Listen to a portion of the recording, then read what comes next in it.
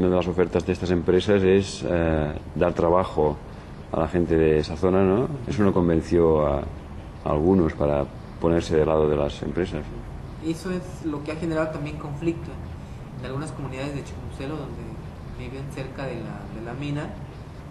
Han empleado como a 10 a 15 trabajadores. Entonces ellos mismos son los que dicen, bueno, quiénes están en contra de la resistencia. O ya se ponen al lado de, empresarios. Ya empieza una confrontación en la comunidad, la división, pues. Esto es lo que ha ocasionado toda la actividad minera. Pero son, son menos que los que se quejan y que protestan. O sea que no, no, no compensa a las personas que contrata la empresa con las que se oponen a su trabajo. Es un grupo muy pequeño de... Sí, sí, son, estamos hablando de 10 a 15 trabajadores. En Chiapas hay más, supongo, ¿no? Más explotaciones mineras que sí que van adelante, ¿no? Vosotros debe ser un mal ejemplo para otras zonas de... Sí, de en frontera con la Malapa región. también hay una concesión también que fue explotada hace como tres años, pero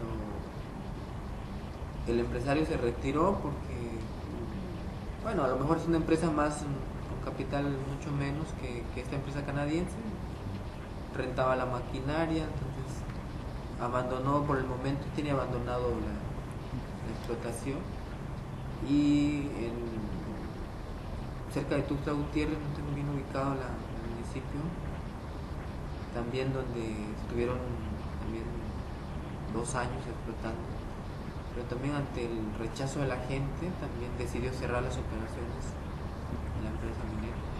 No hace mucho hablamos con un compañero mexicano que, que nos explicaba que en San Cristóbal de, de las Casas y tal sí que había eh, explotaciones en marcha y que, que había prospecciones mineras allí, que, que en estos casos sí que las empresas conseguían hacer su, su trabajo, ¿no? No, no pasaba con el, como el caso vuestro de, de conseguir detenerlas, ¿no? No sé si es un caso excepcional el vuestro o, Pues, este, un ejemplo para otros, ¿no? Por el momento sí, por el momento sí podemos decir que todo el movimiento, todo lo que se ha hecho, pues ha servido, ha servido. Nosotros pensamos también de que pues vamos a continuar en esta misma, esta misma línea de protestar, de hasta lograr que esas concesiones sean este, totalmente eliminadas y desaparezcan los permisos, sea una clausura definitiva pues. Entonces estamos anunciando que en febrero vamos a organizar también un foro mucho más amplio. En febrero vamos a invitar a gente de Guatemala, a gente que ha sufrido más. El caso de Guatemala es mucho más, es más alarmante porque ahí se han muerto ya los niños, están, hay muchas enfermedades de la piel y estamos muy cerca. Estamos hablando de unos 20, 20 30 kilómetros de distancia donde hay una minera también canadiense que ha hecho mucho daño. Y ahí nomás podemos ver toda la, la pobreza en la que vive la gente, el retraso social, enfermedades. Sin embargo, ellos, los empresarios llegan a hablar de desarrollo y no hay desarrollo. Si hubiera desarrollo ahí, muy cerca están, el caso de Guatemala. Entonces nosotros no queremos que nos pase lo que está pasando en Guatemala. Antes de eso, pues vamos a hacer todo lo posible para que estas ya no sigan entrando en las comunidades. Sobre todo también porque se está defendiendo nuestra tierra, la tierra que es la que nos da de comer, es como una madre. Ahí está el agua y precisamente esos manantiales de agua están ubicados ahí donde precisamente están las explotaciones de minas, donde están los, las concesiones, todo lo que es la parte sierra del, del estado de Chiapas, es donde está concentrada la mayor parte de riqueza natural. Y ahí están las concesiones, están las concesiones que están vigentes hasta el año 2057, 2059. Entonces si esta explotación se da, si nosotros permitimos toda esa explotación, se terminaría el agua, se acabarían los bosques. Entonces ¿de qué, de qué viviríamos? ¿De qué viven ahora en Chicomosuelo? En Chimuzao la gente vive de, de la agricultura, maíz, frijol, cacahuate, la crianza de ganado. Todo esto se acabaría si, si ya no hay agua y más para alimentarnos, para el consumo. Entonces está en riesgo la vida de los habitantes. ¿Y qué, tal- se vive eh, ahora ahí?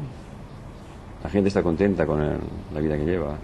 Sí, ahorita que está temporalmente la clausurada las actividades, pues la gente estaba tranquila. Hay muchísima gente que fue también afectada por los, solamente por el paso de los camiones. Como son camiones muy pesados, cuando pasaban ya llenas de piedras y todo eso, eh, empezaba a moverse la, la tierra, pues, y las casas como son tan débiles, la construcción, pues, partían las paredes, se removía el concreto en las calles, un problema. O sea, también hablamos de deterioro de, de las obras sociales que de por sí ya estaban destruidas. Eso es lo que vino a ocasionar también el, paso de estos camiones de la empresa ¿Las condiciones de vida, de escuelas, de hospitales, son suficientes? Bueno, en Chiapas de por sí hay un, retraso social muy grande. Estamos hablando de que no hay ni siquiera medicinas, atención médica. yo creo que debido a todo esto, las empresas, el gobierno quieren aprovecharlo porque ellos no utilizan esa necesidad que hay como para darles paso a las empresas. Porque eso es lo que pasó en el Giro Grecia, donde está esta concesión, está esta empresa trabajando. Le dijo, bueno, vamos a construir obras sociales, den permiso para que pase la empresa. Sin embargo, ni aún así el gobierno ha cumplido, ni programas de, desarrollo social. ¿No querían esas escuelas, no querían estos centros de salud? O... Sí, pero ahorita la gente ya se dio cuenta de que no sirve tener este, una clínica, escuelas, o que nos pongan teléfonos en las, en las casas, si no hay agua, si el agua se acaba, si ya todo está contaminado. ¿de qué nos sirve tener bonitas carreteras si, ya si se acaba el agua. eso la gente lo ha valorado y ha dicho, bueno, es que la idea es que se vayan las empresas de, aquí de nuestras comunidades. El gobierno no se puede comprometer a hacer lo mismo sin que haya empresas extractoras. Si hacen falta escuelas, si hacen falta centros de salud, que se construyan sin necesidad de, de que a cambio tengan que venir empresas extractoras. Pues sí, yo creo que ya es la política del gobierno este, manejarlo así, o quién sabe, o no hay recursos, pero de que se lamenta en Chiapas es la atención médica, medicamentos, es lo más grave.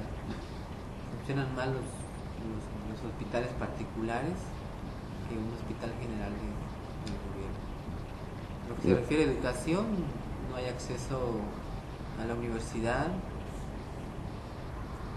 incluso el bachillerato, solamente el que puede pagar se va a una escuela privada y mejor educación. ¿La responsabilidad es del gobierno de Chiapas o del gobierno central de, de Del gobierno de Chiapas, tiene que ver también. Es el PRD, ¿no? Ahora. ¿Es del PRI? El... Es una coalición, viene, viene de una coalición, coalición de, de, de partidos, supuestamente de izquierda, pero el, señor Juan Sabines es, era de, del PRI, había militado en el PRI por muchos años, solamente en el tiempo electoral hicieron una alianza con partidos y ya ¿Y es el gobernador ahora? El gobernador.